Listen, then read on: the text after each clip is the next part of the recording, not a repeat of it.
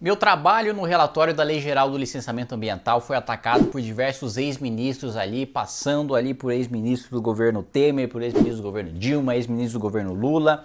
E, bom, já refutei, já respondi na Folha de São Paulo os dois principais pontos de crítica, né, que eram, aliás, dois pontos mentirosos, ou mentirosos, ou coisa de gente que não leu o relatório e está criticando sem ler. Né? Os ex-ministros foram no Oba-Oba, assinaram um artigo que sabe-se lá quem escreveu, e só para parecer que estavam defendendo o meio ambiente, quando na verdade sequer participam, sequer sabem o que está acontecendo no debate sobre licenciamento ambiental. Aliás, o ex-ministro é, Sarney Filho, né, que o sobrenome já diz bastante coisa sobre a tradição política da família, é, publicou aí uma nota na Folha de São Paulo falando que é, eu não construí consenso, que eu tô na base da porrada e que eu não respeito o trabalho dele, que ele conseguiu a maior parte do consenso possível, mas liderou um debate tão consensual que ele chegou e aprovou absolutamente nada no plenário, aprovou um monte de nada, uma lei geral de nada, é, enquanto eu construo sim e fui o relator mais transparente desses mais de 30 anos que se faz o debate dentro da Câmara dos Deputados. Eu fui o único que passo a passo a cada alteração divulga um novo relatório. Divulguei quatro relatórios, muito em breve deve vir a quinta é, e última versão também a ser divulgada e ser debatida, justamente porque eu estou fazendo o debate com transparência, diferente do que todos esses ex-ministros fizeram nas suas gestões e com as críticas infundadas que fizeram ao meu relatório. Mas eu estou fazendo esse vídeo para mostrar a mais absoluta hipocrisia desses ex-ministros que foram completamente fracassados nas suas respectivas gestões ambientais em criticar o meu trabalho no licenciamento ambiental. O ministro Carlos Mink, que foi ali do governo Lula de 2008 até 2010, em 2009 nós tínhamos é, 13 mil focos de incêndio na Amazônia. Em 2010, sob a gestão de Mink, de 13 mil a gente passou por um salto de 44 mil focos de incêndio. O principal responsável por combater desmatamento, combater incêndio e queimada é o governo federal, especificamente na figura do ministro é, do Meio Ambiente, e o que a gente viu foi um fracasso, tanto que ele foi mandado embora, né? ele saiu do ministério neste mesmo ano de 2010, em que a gente teve 44 mil focos de incêndio, e agora quer se fingir de bom gestor, de razoável, de sensato, de defensor do meio ambiente, sendo que a sua gestão desastrosa foi responsável pelo aumento é, nos focos de incêndio. Né? E mais, nós também tivemos é, um aumento é, em área desmatada durante a gestão do Mink. É, e esse próprio Mink, enquanto ele era ministro do Meio Ambiente, ele dizia que os licenciamentos mais rápidos evitam a corrupção. E agora que eu quero fazer um licenciamento simplificado, desburocratizado, mas sem abrir mão da proteção ambiental, da fiscalização e do controle, pelo contrário, meu relatório amplia a fiscalização e o controle, colocando mais fiscal na rua e menos fiscal na papelada, na burocracia, ele diz que é inaceitável, que é retrocesso, que é degradação ambiental e insegurança jurídica.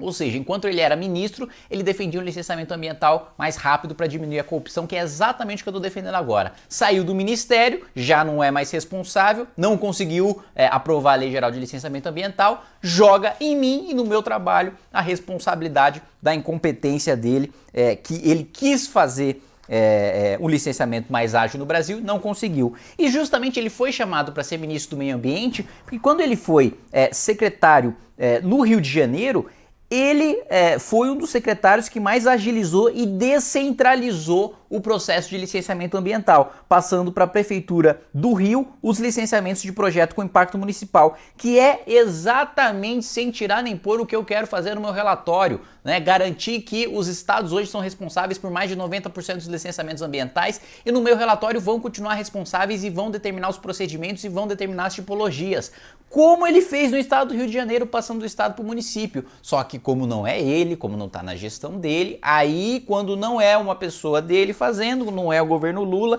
não é ele no Ministério do Meio Ambiente, aí não vale, né?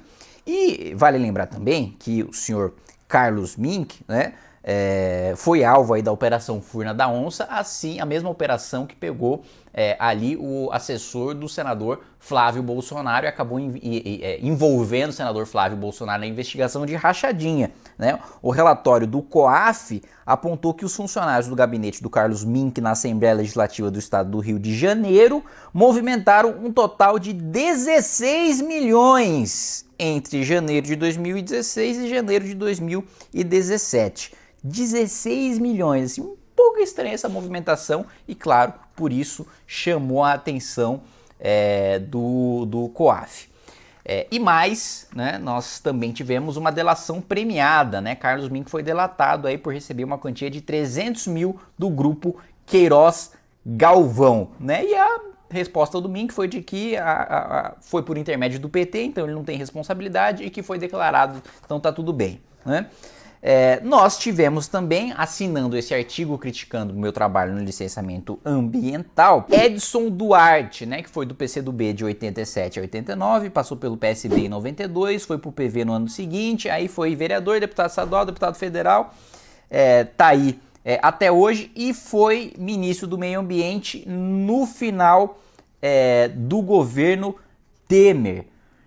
Hoje ele é presidente do IBRAM, do Instituto Brasília Ambiental. E hoje, enquanto presidente do IBRAM, ele flexibilizou regras no licenciamento. Aspas no que ele diz é, em um artigo. Por que fazer a cada quatro anos uma nova licença se a gente já sabe que no resultado final, nos nossos monitoramentos, tá tudo em ordem? É uma burocracia desnecessária. Tudo o que é desnecessário e não ajuda na gestão de risco ambiental e na segurança para a comunidade, nós estamos eliminando. É exatamente o que eu busco fazer no meu relatório de licenciamento ambiental. E se o senhor Edson Duarte tivesse lido meu relatório, saberia disso. Né? E vale lembrar que ele, na sua gestão, acelerou todos os processos de licenciamento ambiental. Ele autorizou mais de 300 empreendimentos né, no IBRAM, na gestão dele no IBRAM, mais de 300 empreendimentos em nove meses, mais do que durante todo o ano de 2018. Ou seja, ele defende que o licenciamento seja mais rápido, seja mais eficaz, né, seja mais efetivo, tenha mais fiscalização e controle, menos burocracia, que você não analise coisas que você já sabe qual é o resultado, já sabe qual é o impacto, já sabe que as condicionantes estão sendo cumpridas, que você não perca tempo naquilo que é de baixo impacto e efetivamente fiscalize aquilo que possa causar dano ambiental. É nisso que é pautada a gestão dele no IBRAM e ele criticou justamente isso no meu relatório, falando que era um retrocesso ambiental e causaria é, insegurança jurídica. Né? José Carlos Carvalho, ministro do Meio Ambiente do final do governo Fernando Henrique, de 2002 a 2003, né? foi secretário executivo do Ministério do Meio Ambiente, diretor e presidente do IBAMA é, e foi secretário de Meio Ambiente de Minas Gerais no governo Aécio Neves, de 2007 a 2004. E enquanto ele foi, enquanto, enquanto ele era secretário de Minas Gerais, ele publicou a deliberação normativa 74 de 2004 do Conselho Estadual de Política Ambiental.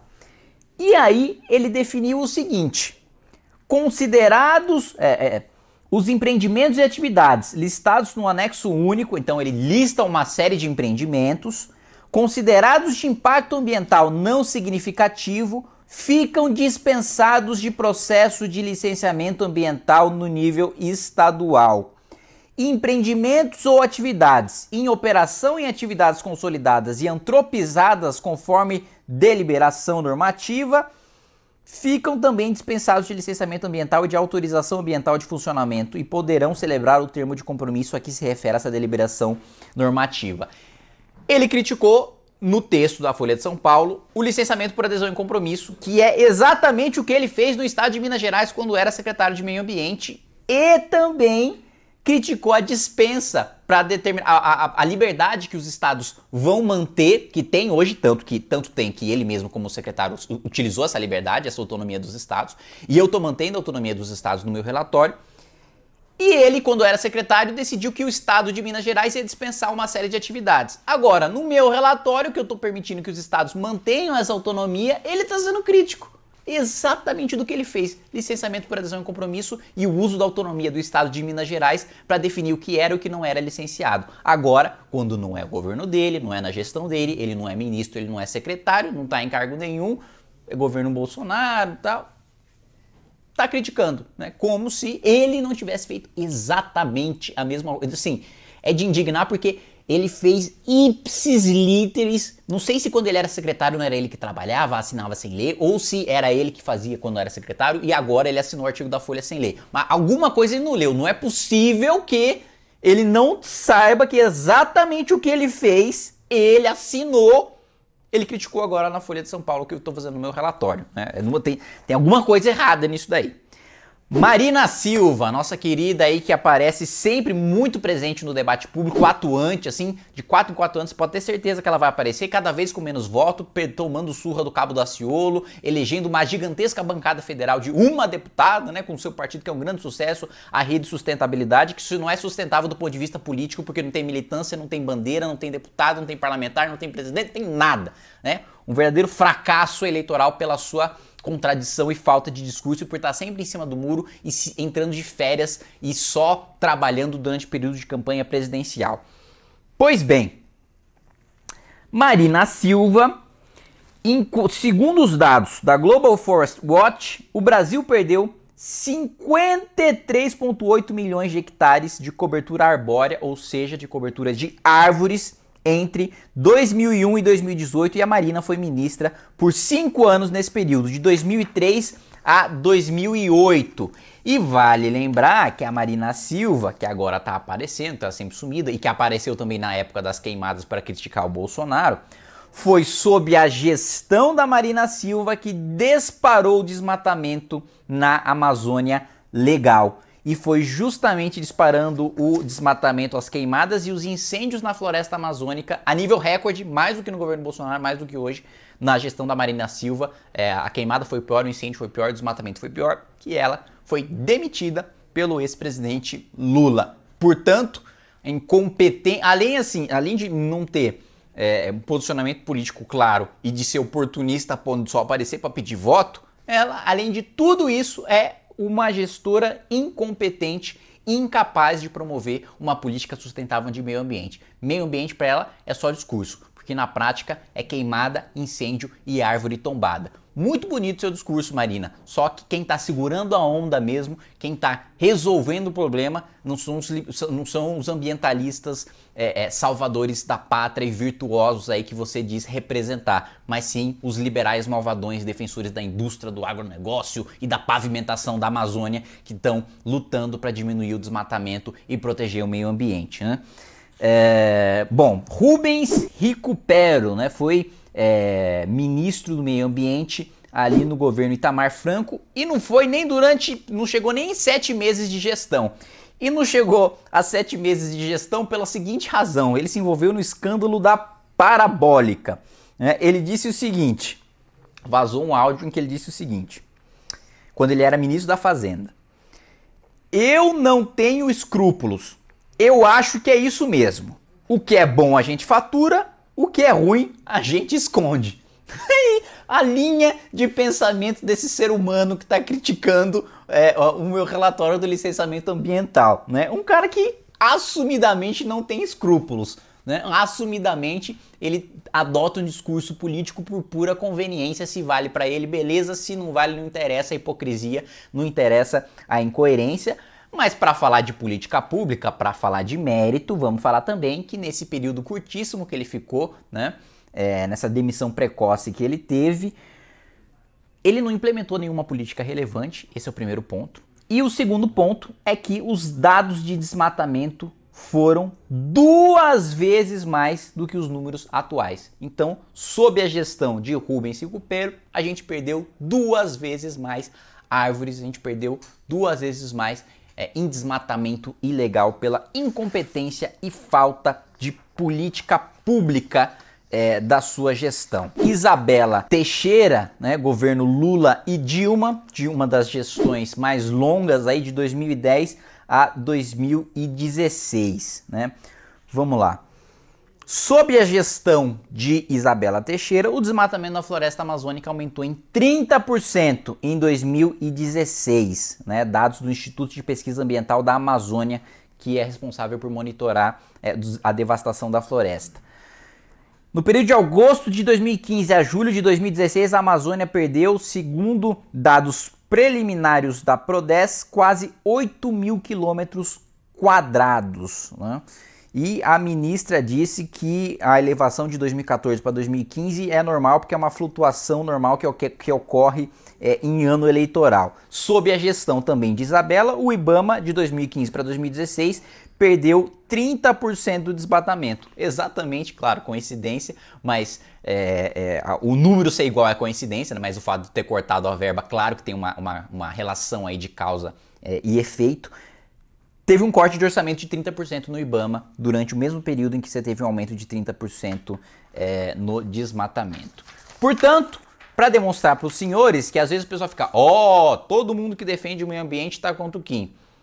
Todo mundo que assinou o artigo contra o meu relatório do licenciamento ambiental, teve uma gestão vergonhosa, incompetente, muitas vezes envolvidos aí em processos, né, como eu detalhei aqui, e que não tem nada de defensores de meio ambiente. Foram ministros do meio ambiente por pura indicação política, politicagem, conchavo, amizade com quem era presidente da república, mas de competência técnica e trabalho a se mostrar, nenhum deles tem tanto que nenhum deles, durante 15 anos de gestão, foi capaz de aprovar uma lei geral de licenciamento ambiental, que agora eles têm medo de que seja aprovado porque não é na gestão deles. Então, deixa a gente trabalhar e voltem para a insignificância política na qual todos vocês caíram.